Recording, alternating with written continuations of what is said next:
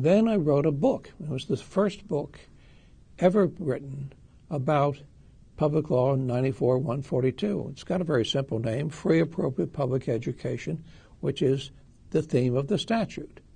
It was a book explaining the law. But it didn't explain just the law, it, it identified the six major principles of that statute. And those six principles have held true ever since 1977 or 76 when I wrote that book until today, 2014. They are a conceptual framework uh, that makes it easy to understand the law. There have been other books since then, but mine is the oldest uh, in the marketplace.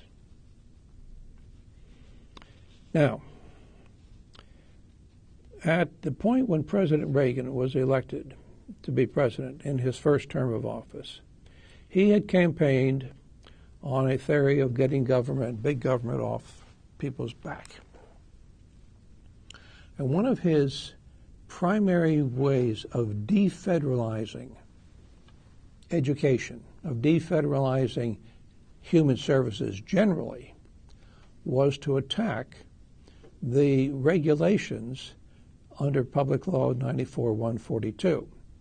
The theory was that if we could persuade the Department of Education, Health, Education, and Welfare, and Congress to loosen up some of the regulations, indeed to deregulate, then we could attack the statute itself and repeal the statute. That would clearly get the federal government out of the business of education, and it would be the first step to getting the federal government out of the many other social service and human services.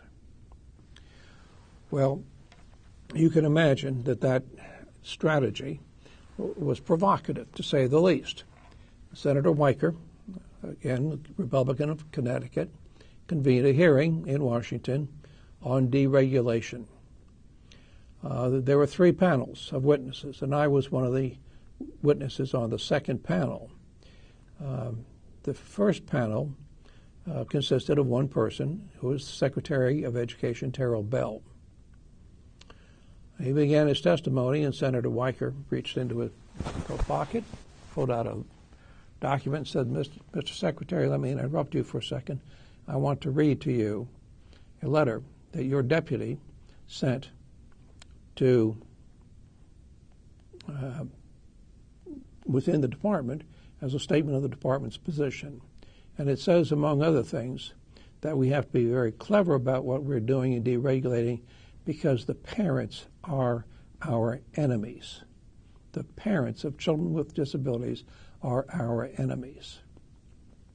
Mr. Secretary said, Senator Weicker, does that represent the position of the Department of Education?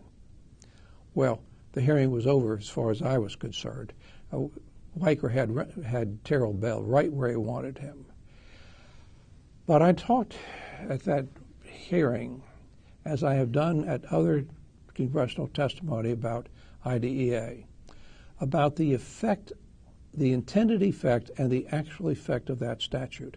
And I could tell then the story about how the school bus came past our house on the first day of school and did not pick up Jay Turnbull to take him to school.